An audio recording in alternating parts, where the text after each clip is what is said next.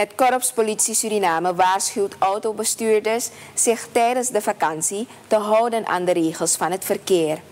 Politiewoordvoerder Milton Kensmil zegt in gesprek met onze redactie dat het is opgevallen dat er in de korte periode dat de vakantie is begonnen veel snelheidsduivels te zien zijn. Weggebruikers worden dan ook op het hart gedrukt zich niet schuldig te maken aan het overtreden van de verkeersregels. Niemand die op zoek is naar vertier en ontspanning wordt beperkt, maar daarbij is wel enige vorm van mate nodig, meent Kensmil. Je kan niemand uh, tegenhouden om zich te gaan verpozen buiten de stad. Maar wanneer je gaat verpozen buiten de stad, moet je er toch wel even rekening mee houden dat als je weet dat je op een bepaald uur in de stad wilt zijn, vertrek eerder. Blijf niet tot het laatste moment om op een gegeven moment als een dolle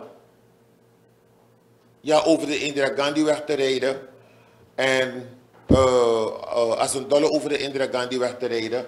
En zo het leven van anderen uh, in, in gevaar brengt.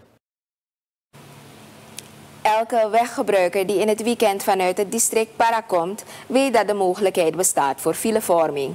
De politiewoordvoerder drukt daarom de samenleving op het hart rekening te houden met het verkeer en vroegtijdig maatregelen te treffen.